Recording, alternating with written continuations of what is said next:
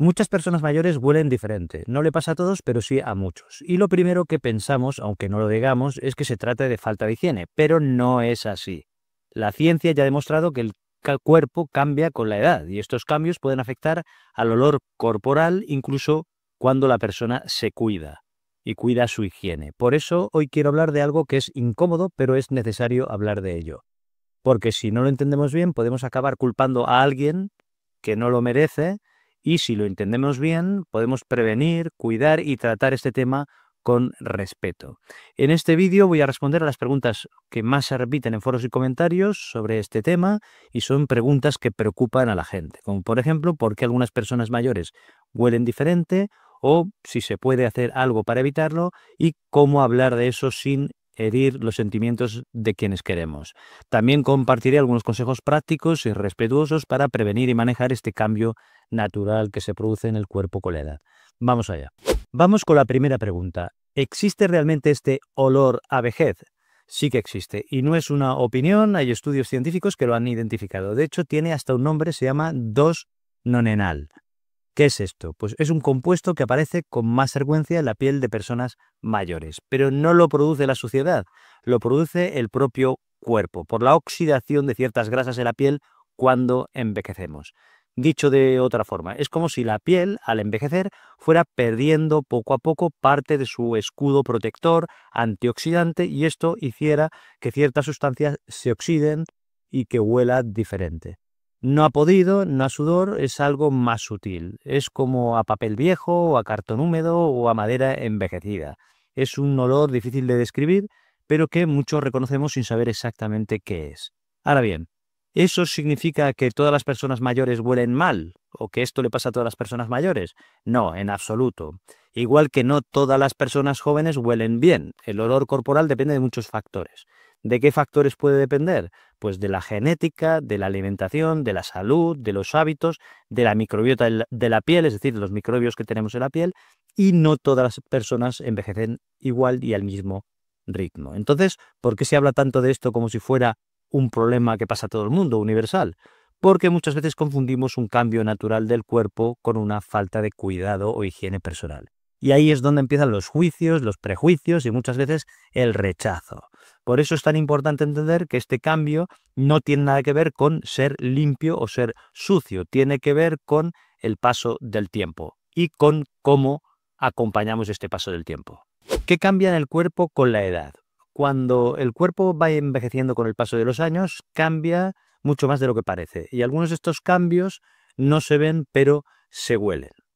Uno de los más importantes es este, el que la piel produce menos antioxidantes. Y esto hace que ciertas grasas naturales que tenemos en la piel se oxiden. ¿Cuál es el resultado de esto? El famoso 2-nonenal, que es ese compuesto del que hablaba antes. Pero no es solo eso, con los años la piel también se vuelve más seca, más fina, menos elástica. No sé si te has fijado que muchas personas mayores tienen la piel como de papel de seda, más translúcida. Pues esto no solo hace que sea una piel más frágil, sino que también retiene menos humedad y se limpia peor por sí sola. Además, muchas personas también tienen problemas de movilidad. Y si te cuesta agacharte, girarte o estar de pie en la ducha, hay zonas que se lavan menos o que se secan peor, especialmente, como digo, después de la ducha. ¿Qué partes son estas? Pues sobre todo los pliegues genitales, pies, axilas, y esto también influye, otra cosa que no se suele comentar es que el olfato también se deteriora con la edad.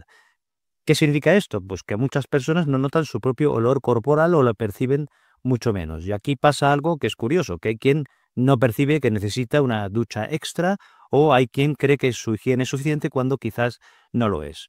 No por falta de cuidado, sino porque literalmente no lo huele.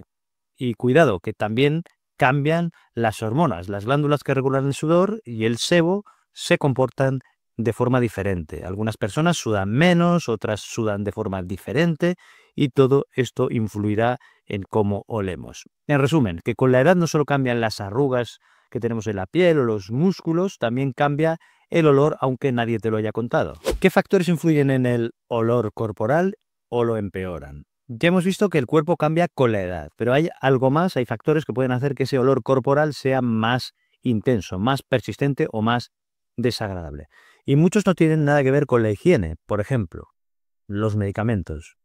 Algunos tratamientos alteran la química del sudor, de la piel y del aliento. Medicamentos para la tensión arterial, antidepresivos, fármacos para el colesterol, diuréticos e incluso suplementos. Y claro, cada cuerpo reacciona de forma diferente, no todos reaccionamos igual. Pero hay algo que es importante tener en cuenta con esto. Si sospechas que un medicamento está causando cambios en tu olor corporal, no lo suspendas, coméntalo con el médico. Muchas veces hay alternativas o se pueden ajustar las dosis.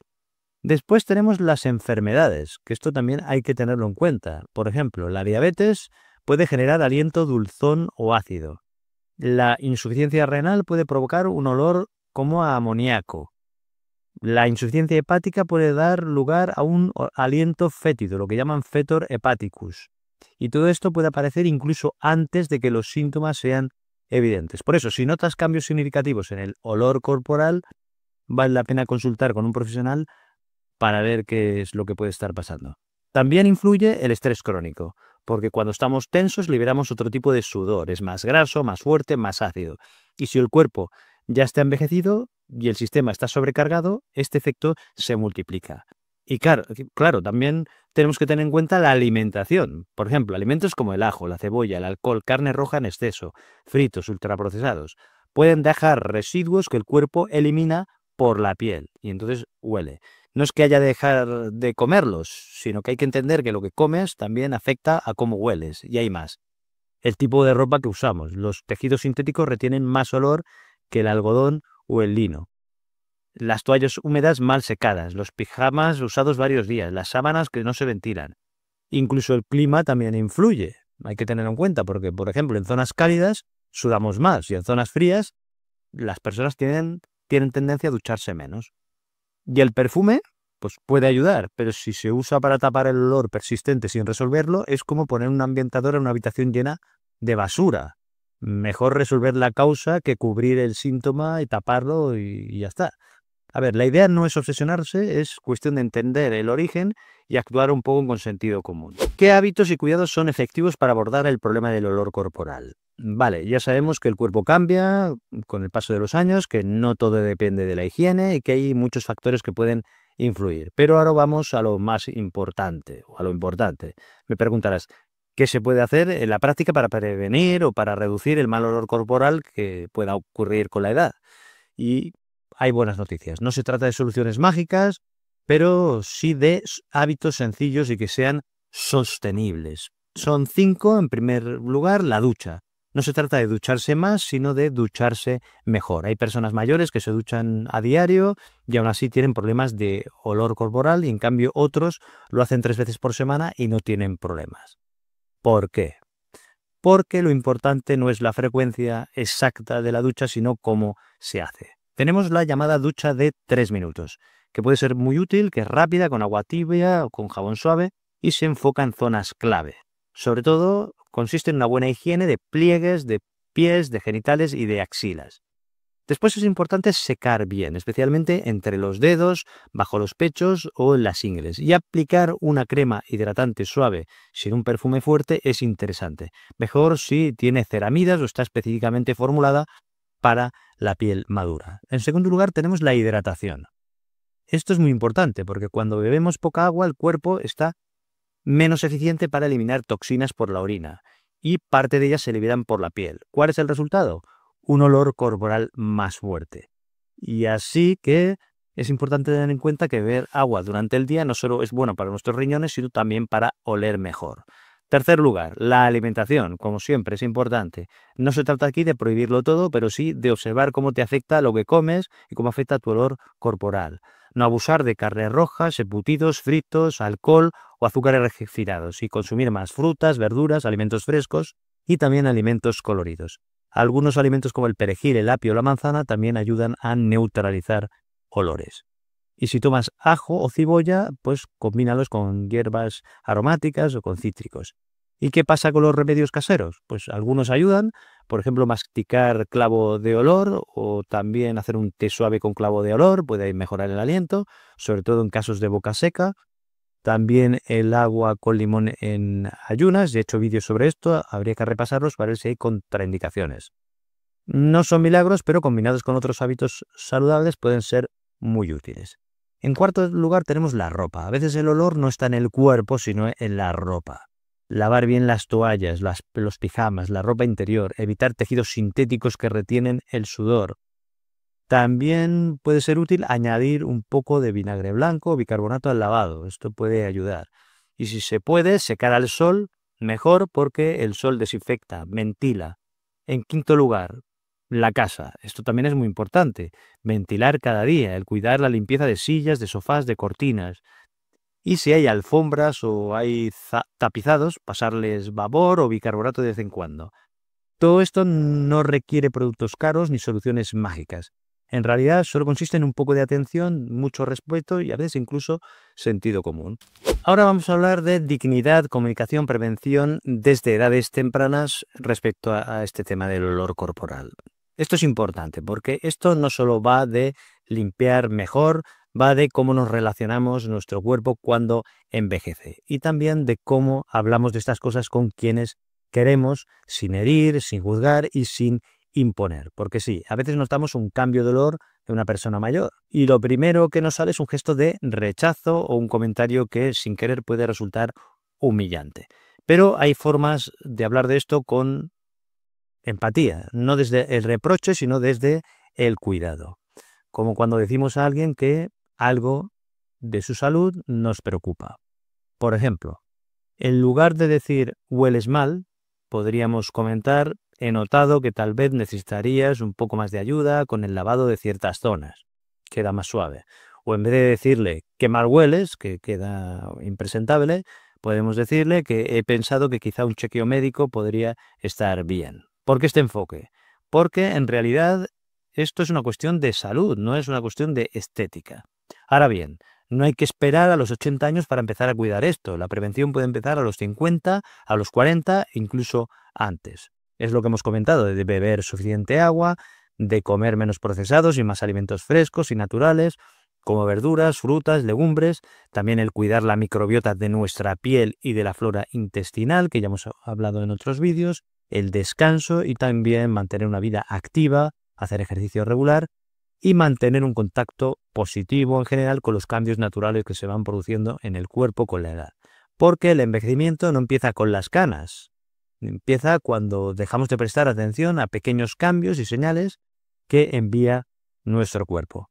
Cuando dejamos de escuchar al cuerpo. Y si entendemos esto, veremos que lo que comento en este vídeo no es solo para personas mayores, es para todos, para hijos, nietos, cuidadores, para todos y para cualquier persona que quiera envejecer con dignidad, con salud y con serenidad. A continuación voy a responder a las preguntas más frecuentes que se repiten en comentarios y en foros. Son preguntas reales, importantes y en muchos casos son preguntas muy humanas que preocupan genuinamente a las personas. En primer lugar, ¿puede una persona joven tener este tipo de dolor? Pues sí, aunque es más frecuente a partir de los 60 o 70 años, hay personas que esto lo experimentan antes, incluso a los 50 o a los 40.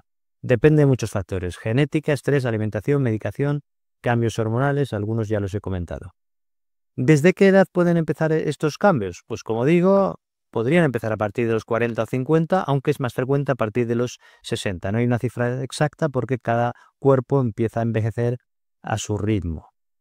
¿Es ofensivo hablar de esto? Esta es una pregunta que preocupa mucho y dependerá de cómo se diga.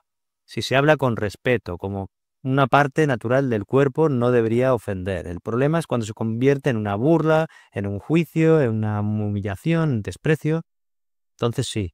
¿Se puede prevenir desde que eres joven? Pues sí, cuidando la piel, la alimentación, hidratándose bien, descansando, manteniendo hábitos de higiene conscientes desde los 40, incluso antes.